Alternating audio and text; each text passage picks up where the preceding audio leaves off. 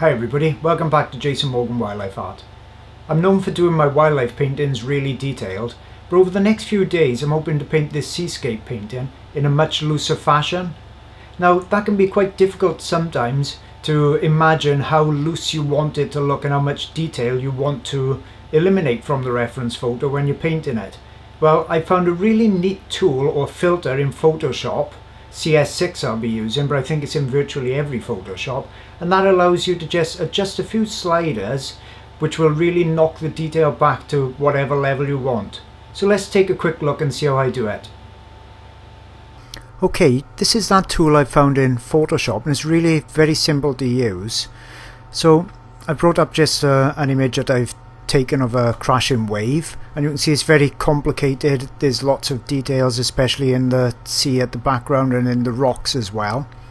But I can simplify this really quickly by just going filter. And by the way I'm using Photoshop CS6 for this. So filter filter gallery.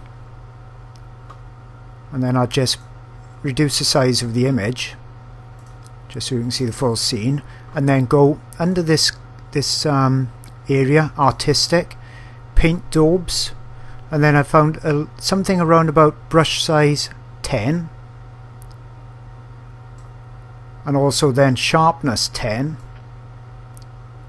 Just sliding that across, and you see how it dramatically reduces the amount of detail in the image. But you can see the scene still looks obviously like a, a crashing wave. But if I zoom in, you really see how much detail has been eliminated. There you can see how much much more artistically impressionistic it is. And it's re really been broken down into its um, basic elements. Look how much detail has been reduced there. But when I zoom back out, you can see how it becomes, once again, photorealistic when I keep zooming out. So this would give you the same impression as if you, you'd done a painting and you mounted it on a wall and then started walking back from it. Or in this case walking towards it, you could see how the detail or the illusion of detail is really um, reduced there as you see the brush strokes that's required. And that's obviously why they say to stand back a little bit from a painting. So that's it done with a seascape. So if I cancel that, you can see the detail on the um, the photograph again there.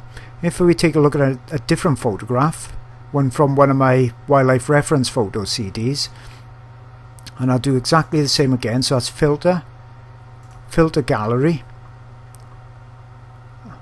and then I'll leave it zoomed in this time so we can see the adjustment as it's actually happening. Let me zoom out just slightly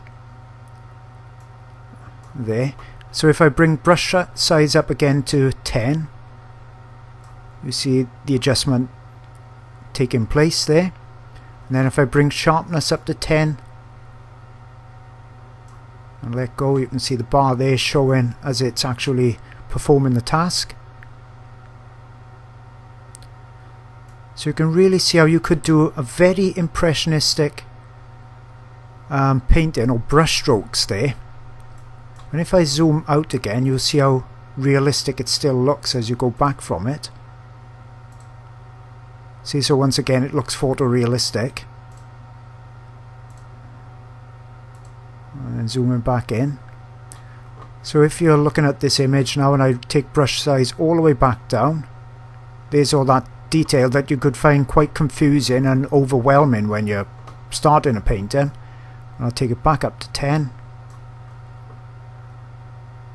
not that impressionistic look. So I'll OK that.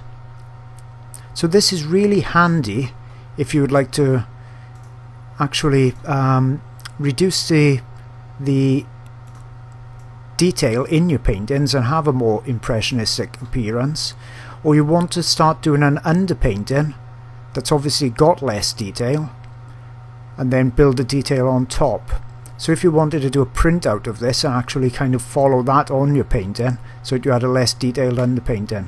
And what I would advise then is also to actually make the image a bit darker so you can layer the details on top. So I'd go image, adjust levels, and then just grab the central one, so that's the mid-tones, and then you can darken that down, and OK that. So you could see then, if I zoomed out, oh, it's a much darker image than what you would want in the end, but that would allow you to actually overlay the lighter tones. So if I go edit undo, you see how much lighter you would want it as the final painting. So that's just a few tips with this filter, filter gallery and artistic paint daubs which I've used to to really reduce the detail in a painting and give a much more impressionistic appearance. Hope you found that of use. Don't forget that you can find me on my webpage jasonmorgan.co.uk where you'll find loads of videos and ebooks and reference photo CDs and, and things like that and also on Facebook, Twitter, Instagram. Don't forget to check out my YouTube channel so you don't miss out on any new videos. Don't forget to subscribe and I'll speak to you all again real soon.